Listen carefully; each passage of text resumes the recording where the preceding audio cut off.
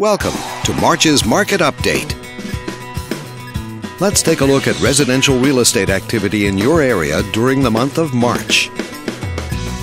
The number of active listings was up 23% from one year earlier and down 6% from the previous month. Even so, buyers still enjoy a greater selection of homes today than they did one year ago.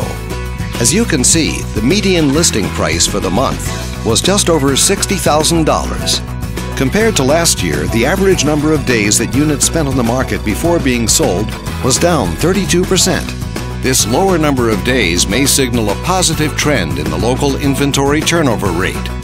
The median sale price was just over $200,000. The number of units sold decreased 33% year over year and increased 300% month over month. Despite a slight annual decrease, this upward monthly sales trend indicates positive momentum. Thanks for watching. We hope you use this information to make smart, informed decisions in your upcoming real estate transactions. Feel free to contact us for more information or further assistance.